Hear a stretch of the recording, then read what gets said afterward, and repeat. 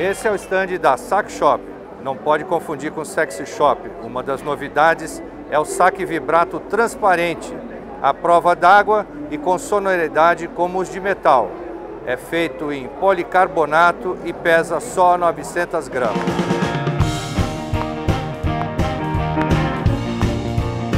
Outro lançamento que pode dar polêmica é a palheta sintética Hemp para saxofone. Ela é confeccionada a partir de uma mescla entre a fibra sintética tecnológica e fibras orgânicas do talo da cannabis. Aliás, não queiram acender, ela não tem o princípio ativo THC, que é o que dá o barato.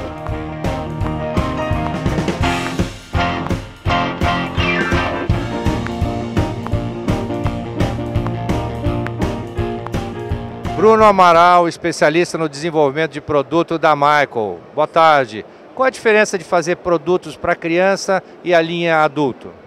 Olha, hoje a Michael tem uma preocupação muito grande em, a, em trabalhar nessa área de desenvolvimento para crianças. E o grande foco é que é um perfeito instrumento musical.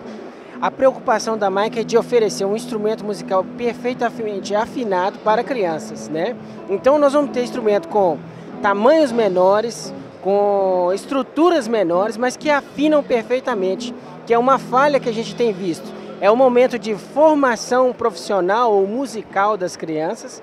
Então esses instrumentos eles têm que ter uma perfeita afinação para atender essa fase de formação musical. A partir de que idade, Bruno? A partir de zero anos de idade é o momento de você iniciar a sua musicalização infantil.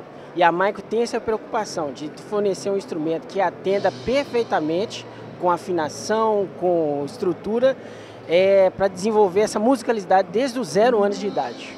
E tem é, instrumento para um, dois, três anos? Até que idade? Com certeza. É, a gente tem instrumento para crianças de zero ano de idade até 110 anos de idade. O que você precisar, nós estamos perfeitamente para te atender, sendo preocupação que o instrumento seja afinado e atenda todas as faixas etárias, desde o iniciante até o público mais profissional.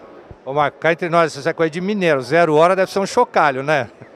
Com certeza, né?